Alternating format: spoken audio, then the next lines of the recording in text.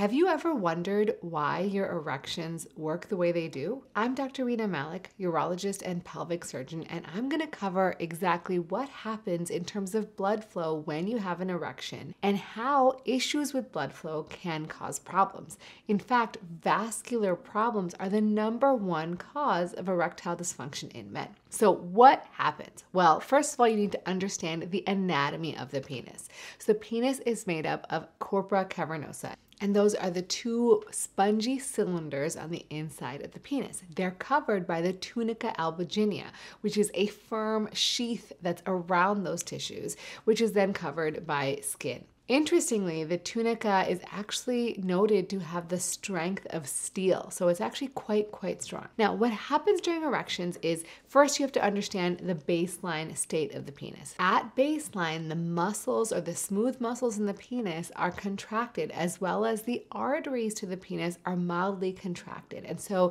it's got a mild oxygen state of about 30 to 40 milligrams of mercury. When you get aroused, the nerves or the cavernous nerve terminals will release a substance called nitric oxide. And that's why you'll often hear me say nitric oxide is the ignition for erections. When this is released by your body, the muscles relax and the arteries widen, which allows blood flow to flow in. This then begins to compress the veins that are around the penis that allows for the first phase of erection called the latent phase. And as the penis fills, the tunica albuginea, remember that wrapping that's as strong as steel, expands and pushes against additional veins, leading to the tumescent phase. Now, that's when you are pretty hard. Now, when those veins get flattened to the maximum potential, the inflow is maximal and the blood flow can't get out.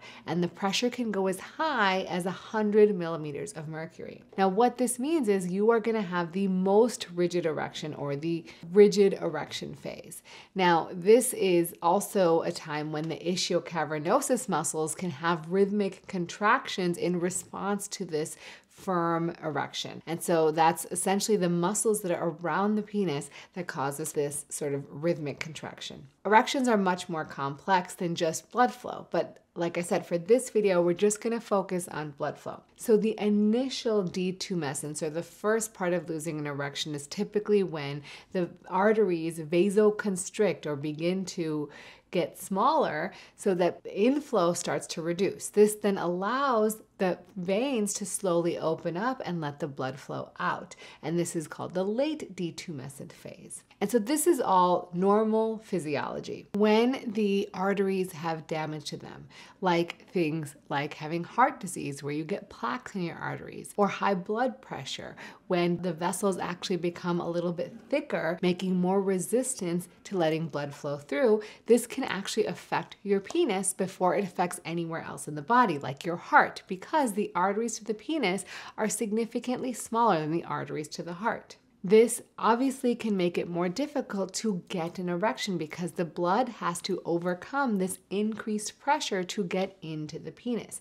Now, the interesting part about this is over time, this can cause the amount of oxygen getting into the corpora to be lower. So you're having less oxygen in those penile tissues. And this over a prolonged period of time, something called chronic hypoxia, causes actual changes to the tissue. So you're actually getting more different types of factors like TGF beta and increased production of certain types of collagen fibers, which can eventually lead to fibrosis, which is essentially scarring of those tissues, which means that they can't expand as much and get as much blood flow into them to create the erection. And even when they do get blood flow into them, they don't expand as much because they're not as elastic. Now, this is a problem because a lot of people will say that my penis is shrinking, right? I'm not noticing that my penis is as long long as it was when I was younger. Sometimes that's part of just having a larger body weight. If you have more body fat in the Mons area or the area right above the penis, your penis will appear shorter.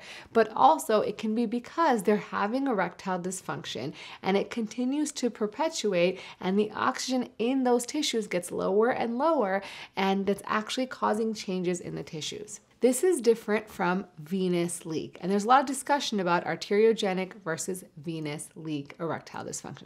So, what exactly is venous leak? Venous leak is essentially when blood flow enters the penis, the veins don't get compressed well or they are unable to compress well. So the blood just essentially leaks right out. So you may get a good erection, but it tends to go away very quickly. Now, the most common causes of this are things like trauma, maybe having something like Peyronie's disease where you get plaque formation in the penis. If you want to learn more about that, check out my video on curved penises where I talked about it. It can be due to priapism where you've had an erection that lasts longer than four hours and then you've subsequently developed some trauma or fibrosis to the area. It can also be due to those oxygen changes that we talked about, due to arterial dysfunction, then leading to venous leak. So you can sometimes have both together. And lastly, it can be due to congenital vascular problems. So if you have problems with your veins that you've had since you were born, it can also affect the ability to get erections. So typically, what we find in particular patients who just present with venous leak is they're never really able to get a firm enough erection to penetrate. It's been that way for years, and they very infrequently have nighttime or early morning erections.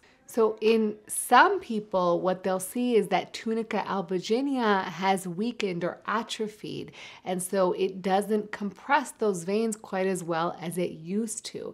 Now, there's nothing we have that's going to firm up that tunica albuginea tissue except for generally working on lifestyle, right? Anything you do to improve your health, your nutrition with exercise, that's going to help the health of your tissues all over your body, including your penis. Now, typically, you can diagnose this with a penile Doppler ultrasound. However, penile Doppler ultrasounds are not perfect tests. They are very operator dependent and they can have false positives if you're having too much anxiety on the day of your test or if you don't get the right dose of medication. And typically they require you to get a pharmacologic erection. So, which means that you'll get an injection with medication into the penis that's going to make you have an erection. And so that in and of itself can create a lot of anxiety.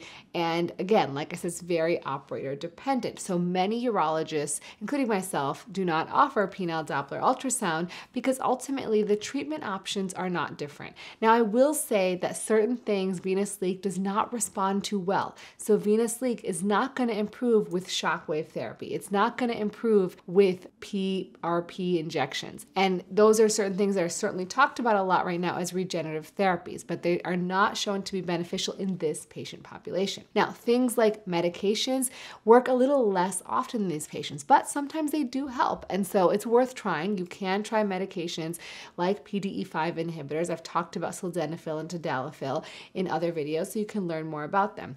You could also use things like constriction bands or using a vacuum erection device, which will then help compress those veins so that you can sustain the erection for longer. Alternatively, you can try pharmacologic injections that you inject into the penis that can create erections that you do about 10 minutes before sex. And honestly, I think a lot of people get really nervous about the idea of injecting their penis, rightfully so. But I will tell you, many of my patients have told me that it was nearly not as bad as they thought it was going to be. And they love the ability to get an erection relatively quickly when they feel the need to. And it's really not a huge of a pain as it sounds. And then lastly, there's surgeries like penile implants. And sometimes in patients with venous leak, we end up going to penile implant surgery sooner because these other options don't work as well. But I always encourage my patients to try as many of the other options as possible available to them before going to penile implants so they can really feel confident in their decision to have surgery. I've talked again about penile implants on prior videos, so check those out. You may have heard about things like vascular surgeries or embolization for venous leak. However, if you look at the data critically, basically they do show short-term benefit in terms of improving vascular flow and improving the ability to get and sustain erections, but after about 12 months, the success rate goes way down to about 25%. And there of course are risks associated with these surgeries that can include numbness of the penis and other sorts of negative side effects that are certainly not worth it for a 25% success rate, which is why you're going to be hard pressed to find a urologist that will offer something like that because as of yet, we have not seen the evidence that these are successful in the long term. Now, if you've had a recent trauma and you very quickly get seen, sometimes there can be benefit, but this is a very small subset of people and to my knowledge, there's only a handful of surgeons in the country that offer these surgeries. So, as always, I hope you guys found this helpful. Um, let me know what else you want to learn about in the comments below. And if you want to see me as a patient, check out my website, www.renamalikmd.com. You can make an appointment there. I see patients in person in both Los Angeles as well as Newport Beach. And I can see you via telemedicine if you're located in a multitude of states, including New York, New Jersey, Maryland, Texas, Virginia, Illinois, Florida, and of course, California. And as always, I'm going to take care of yourself because you are